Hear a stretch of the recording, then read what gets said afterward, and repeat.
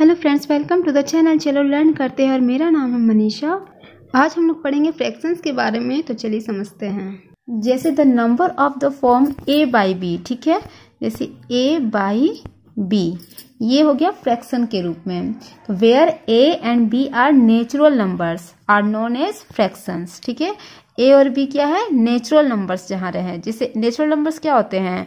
One two three four ठीक है? इस तरह से चलते जाएगा। तो वो नेचुरल नंबर्स कहलाते हैं। इसमें माइनस टू पॉइंट ये सब नहीं आता है। ओके तो ये नेचुरल नंबर्स कहलाया और होल नंबर्स जो ज़ीरो से स्टार्ट हो ज़ीरो वन टू थ्री ये सब होल नंबर्स में आते हैं। तो फ्रैक्शन में ए और जो बी होते हैं, वो नेचुरल नंबर्स होते हैं और ए बाय बी के रूप में जो लिखे जाए तो वो फ्रैक्शन कहलाते हैं। तो सबसे पहले जैसे मान लिया, हमने ए अगर मान लिया थ्री है और बी अगर मान लिया फोर है, ठीक है? ये नेचुरल नंबर्स भी हैं ओके तो थ्री यहाँ पर जो थ्री है, वो कहलाएगा न्यूमरेटर ओके और फोर कहलाएगा डिनोमिनेटर न्यूमरेटर हो गया और ये हो गया डिनोमिनेटर और हिंदी में इसे क्या कहते हैं? इसे हिंदी में क्या कहते हैं? अंश और इसे कहते हैं हर फ्रैक्शन जो है, वो बहुत सारे होते हैं। डिसमल फ्रैक्शन आता है, वल्गर फ्रैक्शन आता है तो पहले मैं बात करूँगी डिसमल फ्रैक्शन के बारे में। Decimal fraction, okay? इस फ्रैक्शन को देखिए। Three by ten, six by hundred. तो ये क्या हो गया? डिसमल फ्रैक्शन हो गया। अब ज़ीरो को ही अगर हम हटा देते हैं, ज़ीरो को हटा के यहाँ पर कर दे तो क्या हो जाता है? ज़ीरो पॉइंट थ्री हो जाता है ना? एक ज़ीरो का मतलब है वो ऊपर जाकर एक नंबर के पहले पॉइंट पड़ता है। और इसी तरह दो ज़ीरो है तो दो नंबर के पहले पड़ता है। यही रूल है इसका। ओके ये दो ज़ीरो है तो क्या हो जाएगा? ज़ीरो पॉइंट टू सिक्स ठीक है? तो ये जो है, वो डिसमल फ्रैक्शन कहलाता है। इसी तरह थाउज़ेंड रहेगा तो तीन ज़ीरो रहेगा तो तीन नंबर के पहले डिसमल हो जाएगा। अब वल्गर फ्रैक्शन क्या होते हैं? A fraction whose denominator is a whole number ठीक है? Is called a vulgar fraction जैसे टू बाई एट हो गया ओके ये सब जो डिनोमिनेटर है वो होल नंबर है। होल नंबर में आ जाएँगे। फोर बाई ट्वेल्व हो गया, ये सब। तो इसे हम क्या कहेंगे? वल्गर फ्रैक्शन हम पे प्रॉपर फ्रैक्शन क्या होते हैं? P R O P E R proper fraction fraction whose numerator is less than its denominator मतलब न्यूमिनेटर जो है वो लेस रहे डिनोमिनेटर से। समझ रहे हैं? यानी अंश कम रहे इसके हर से। ठीक है? जैसे फाइव बाई एलेवन ये है न्यूमरेटर ये है डिनोमिनेटर ठीक है? तो ये जो है न्यूमरेटर जो वो कम है ना डिनोमिनेटर से तो ये, यही प्रॉपर फ्रैक्शन का होता है डिफिनेशन कि जब न्यूमरेटर डिनोमिनेटर से लेस रहे, कम रहे तो वो प्रॉपर फ्रैक्शन में आता है। फाइव बाई एलेवन हो गया फिफ्टीन हो गया। इस तरह से ये सब क्या आ गए? प्रॉपर फ्रैक्शन में आ गए। इसी तरह इम प्रॉपर फ्रैक्शन ठीक इसके अपोजिट हो जाएगा, जिसमें न्यूमरेटर ज़्यादा रहे डिनोमिनेटर से तो वो इम प्रॉपर फ्रैक्शन में आ जाएगा।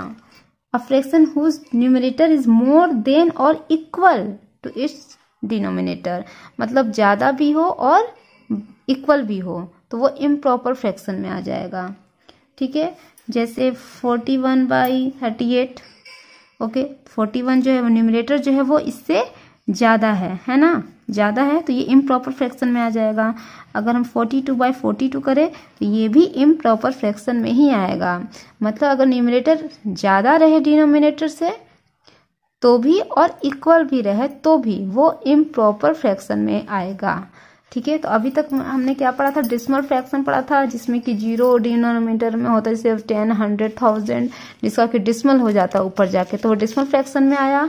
उसके बाद हमने पढ़ा था वर्गल फ्रैक्शन जिसका डिनोमिनेटर होल नंबर रहता है। ठीक है?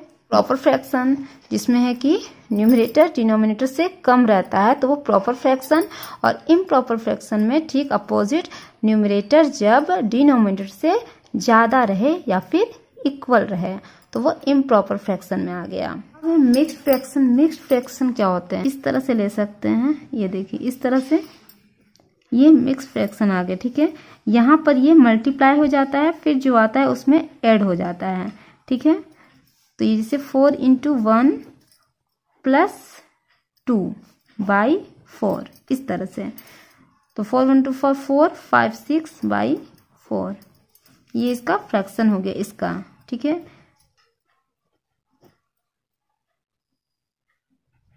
इस तरह से ये मिक्स फ्रैक्शन हो गया। फिर ये मल्टीप्लाई हुआ, यानी टू इंटू फाइव हुआ, और इसमें प्लस थ्री ऐड हो गया ये।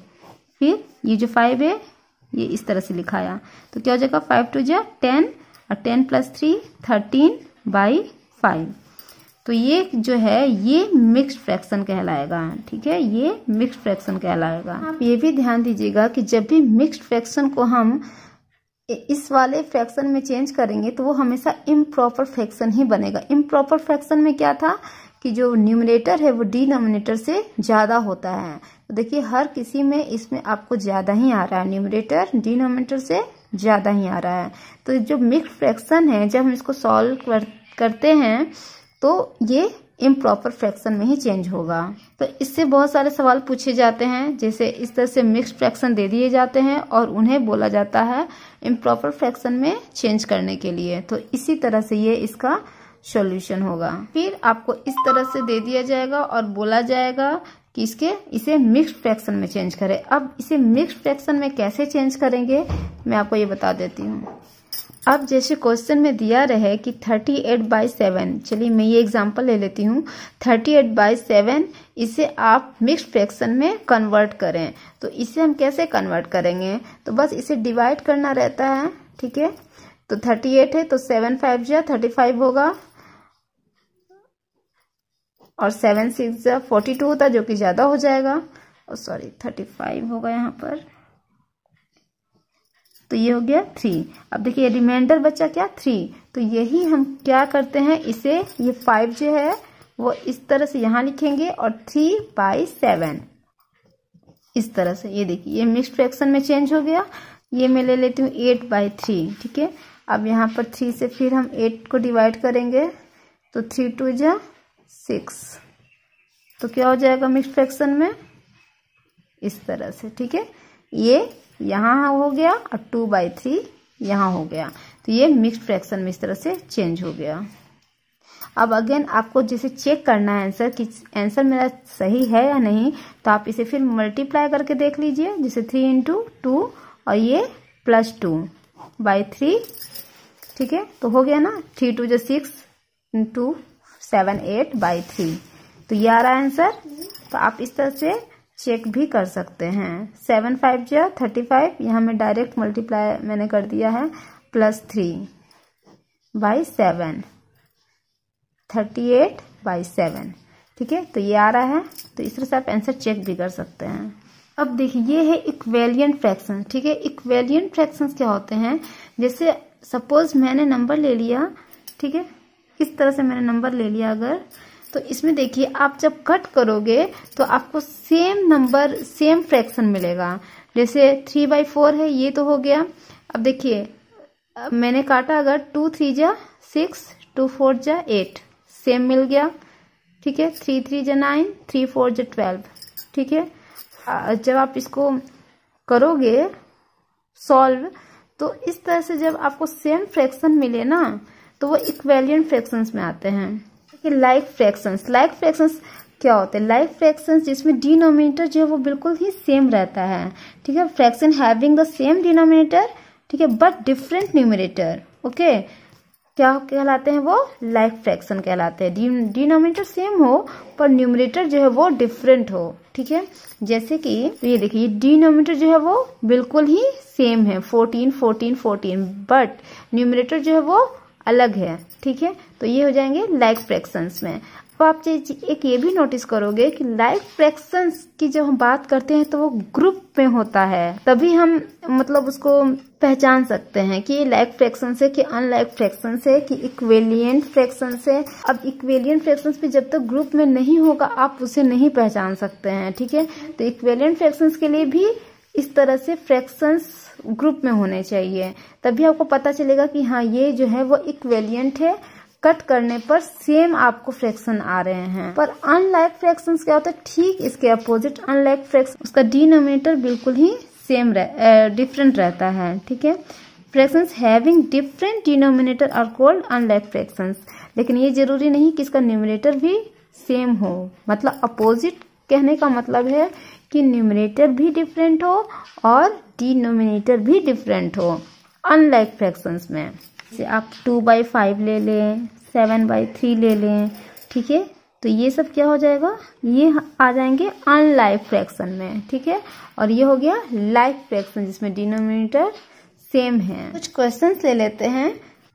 अब जैसे देखिए, मैंने क्वेश्चन दिया है कन्वर्ट द फ्रैक्शंस ठीक है seven by six eight by nine nine by twelve into like fraction like fraction में क्या था? तीनों जो डिनोमिनेटर है वो सेम होने चाहिए लेकिन इसमें अलग अलग है। इसे हमें लाइक फ्रैक्शन में चेंज करना है। इसका मतलब डिनोमिनेटर वो हमें तीनों सेम होने चाहिए ऐसा कर देना है ठीक है? तो अब इसे हम कैसे सॉल्व करेंगे देखिए। जैसे ये देखिए पहले मैंने क्या किया कि ये एल्सियम इसका निकाल दिया सिक्स नाइन ट्वेल्व का एल्सियम निकाला ठीक है?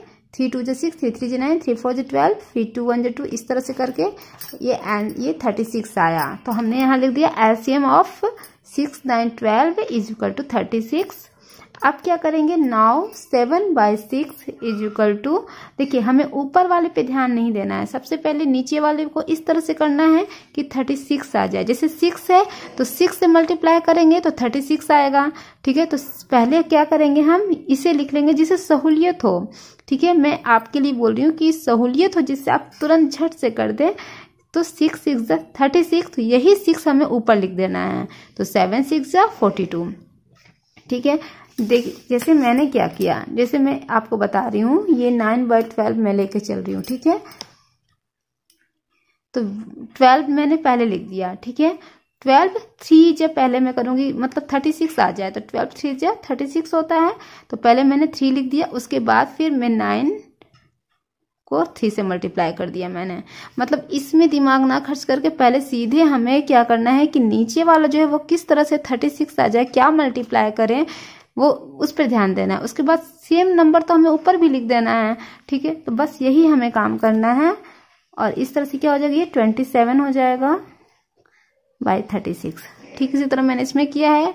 नाइन फोर जो थर्टी सिक्स होता है तो नाइन फोर जो थर्टी सिक्स फिर यही फोर ऊपर कर दिया एट फोर जो थर्टी टू। तो इस तरह से देखिए डिनोमीटर जो है वो तीनों में सेम आ गए। तो हो गई ये लेग फ्रैक्शंस तो इस तरह से हम लिख सकते हैं कि clearly 42 by 36, 32 by 36, 27 by 36 are like fractions. अब देखिए, फ्रेंड्स, मैंने दूसरा क्वेश्चन लिया है। कंपेयर द फ्रैक्शंस, जैसे बहुत सारे फ्रैक्शंस कंपेयर करने में आते हैं ना क्वेश्चन, कौन सा छोटा है, कौन सा बड़ा है। जैसे मैंने लिया two two by five seven by three तो इसे हम सॉल्व कैसे करेंगे, देखिए।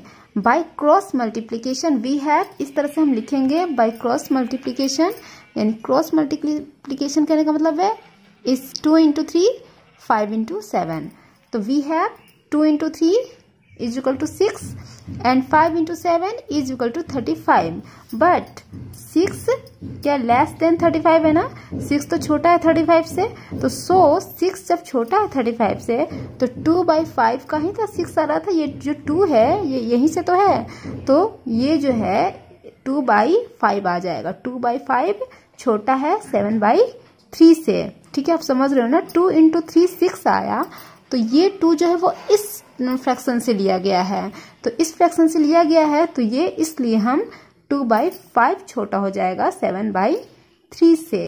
तो फ्रेंड्स, वीडियो यही एंड होता है। सेकंड पार्ट में मैं इससे रिलेटेड और भी क्वेश्चंस लेकर के आऊँगी, जिससे आपको और समझने में आसानी हो और फ्रैक्शंस के बहुत सारे क्वेश्चंस आप सॉल्व कर सकें।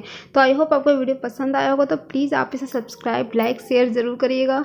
लाइक ज़रूर कर दीजिएगा, जिन्होंने सब्सक्राइब नहीं किया है, वो सब्सक्राइब भी ज़रूर कर ले। ओके फिर thank you thanks for watching